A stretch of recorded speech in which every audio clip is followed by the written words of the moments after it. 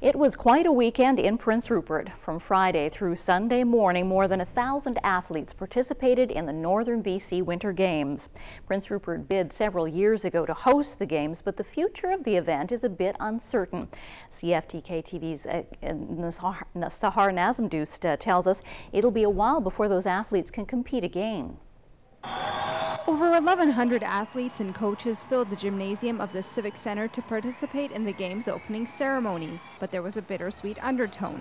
100 Mile House backed out of hosting the event next year, and now that it will become a biennial event, the next time the Northern BC Winter Games will take place in the north, it will be 2013. We felt that um, we wanted to transition to offer a, a,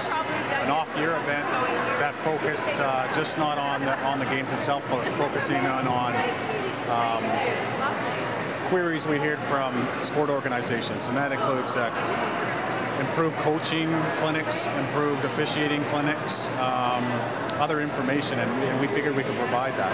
I'm kind of disappointed because it's a good tournament, like probably the best one of the year. I'd say. And to stay safe in the games that you can participate in.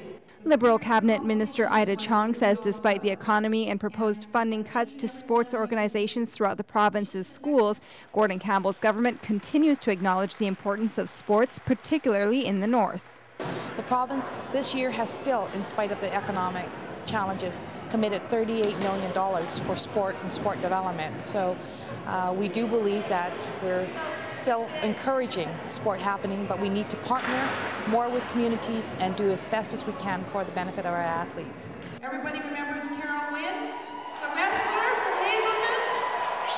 It was events like the Northern BC Winter Games that Olympic gold medalist Carol Huynh got her start as a wrestler and eventually made it onto the Olympic podium.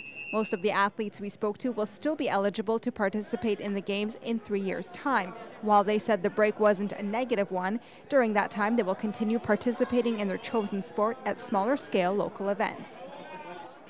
The Northern BC Winter Games Society says while the next host community has not been chosen yet, an announcement for the Society's official plans are expected to be made in the fall. For CFTK TV News in Prince Rupert, I'm Sahar Nassimdoost.